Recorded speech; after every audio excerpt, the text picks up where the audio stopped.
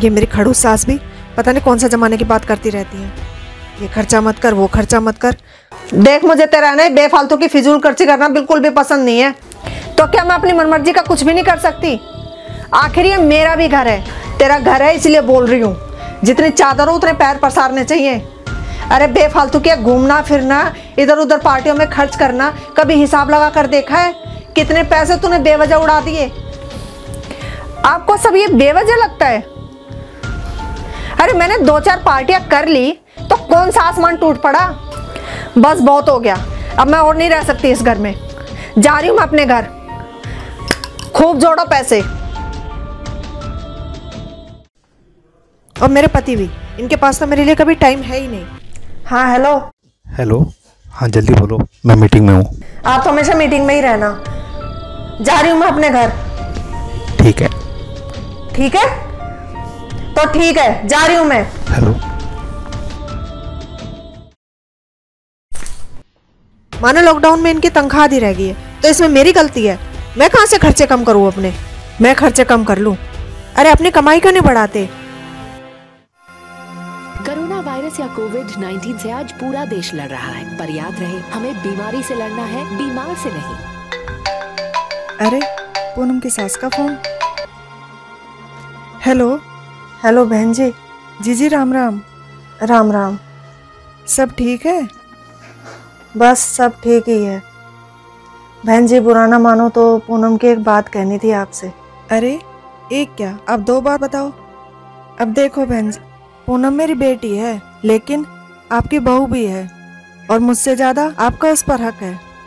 अब बहन जी आपसे क्या छुपाना?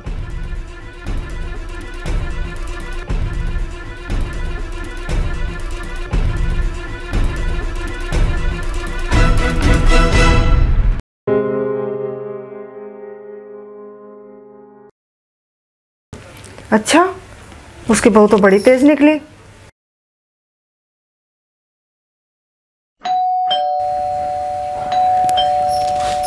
एक मिनट रुकना। अरे प्रिया देखियो बेटा दरवाजे पे कौन है?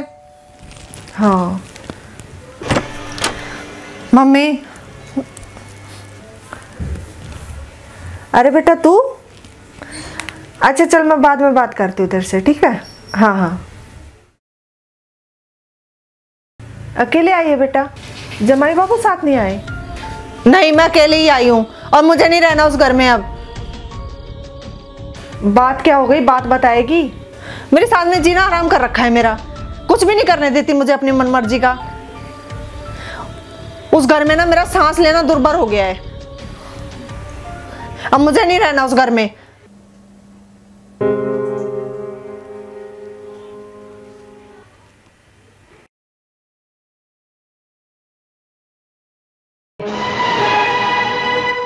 भाभी। चाय बना दो मेरे लिए। दीदी बना लो और साथ में मम्मी और पापा जी की भी चाय बना देना। क्या? हाँ मम्मी जी ने पूजा कर ली होगी। मैं चाय बनाऊँगी? हाँ अब तो आप इसी घर में रहोगी ना? तो अब मेहमान थोड़ी हो जो आपकी खातिरदारी होएगी। अब आप भी इस घर के सदस्य हैं काम तो करना पड़ेगा। अब मैं अकेले थोड़ी करूँगी सारा।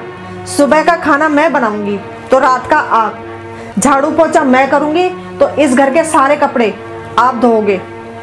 समझ गए? अब घर में मेंबर बढ़ा है तो काम भी तो बढ़ गया। अब मैं अकेले थोड़ी करूँगी सारा काम। मिल बांट के करना पड़ेगा? हाँ और जल्दी से चाय बना दो। और साथ में मम्मी जी के लिए नाश्ता भी बना देना, उनको दवाई लेनी होती है। ठीक है।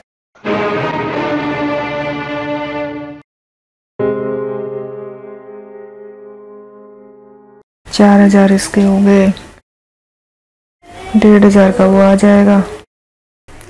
ये इतना हो जाएगा ये इसका हो जाएगा। मम्मी मुझे पैसे चाहिए। पैसे? कितने चाहिए? यही कुछ तीन चार हज़ार रुपए। मुझे बाज़ार से मेकअप का सामान लाना है। आपको पता है, मैं गुस्से में कुछ नहीं लेके आई अपने साथ। तो तीन चार हज़ार रुपए का सामान लेकर आएगी। आप तो ऐसे रिएक्ट कर रही हो, जैसे मैंने तीस चालीस हज़ार रुपए मांग ली हो। लाओ, जल्दी दो। अच्छा अभी देती हूँ।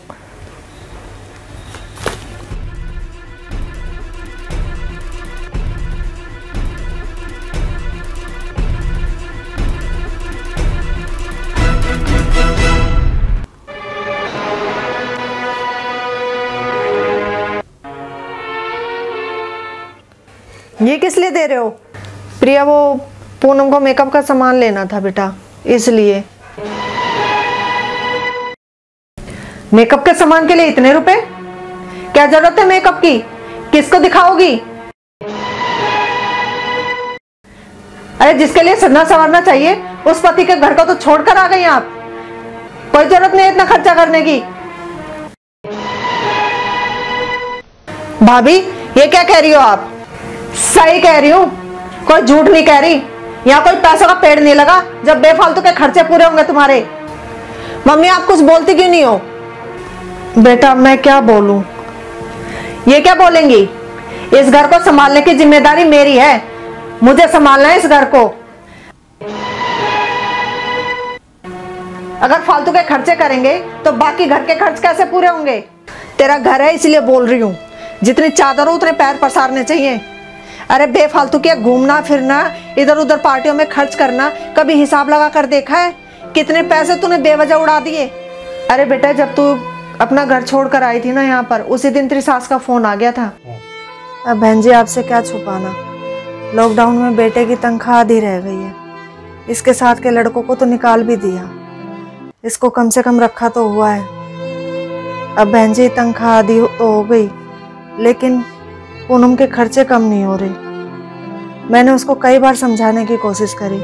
बेटा, इतने खर्चे मत किया कर। लेकिन वो सुनने को तैयार ही नहीं है। अब बेटे को भी चार चार जनों का काम मिला हुआ ऑफ़िस में। अब घर में उसकी टेंशन रहती है और घर आके ये लड़ाई करती है। अब बहन जी, आप ही समझा सकते हो उसको। आप ही इस घर को टूटने से बचा सकते हो। अब देखो सुबह सुबह लड़कर चली गई मुझसे। आ रही है आपके घर। समझाना बहन जी उसे। ठीक है जी। अच्छा बहन जी।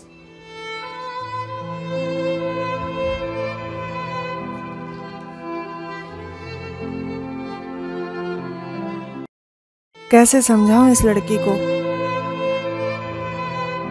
इसको तो प्रिया ही समझा सकती है अच्छे से। प्रिया? प्रिया बेटा इधर आना।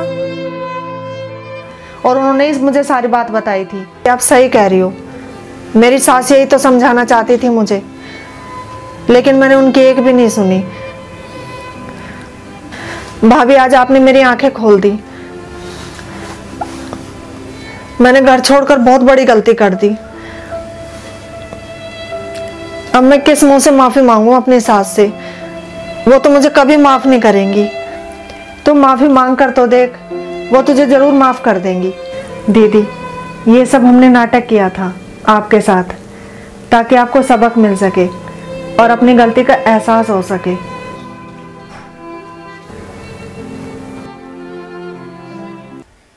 कुछ खर्च हम चाहकर भी कम नहीं कर सकते, पर फिजूल खर्च ज़रूर कम कर सकते हैं। याद रखिए, बुरे वक्त में पैसा भी काम आता है।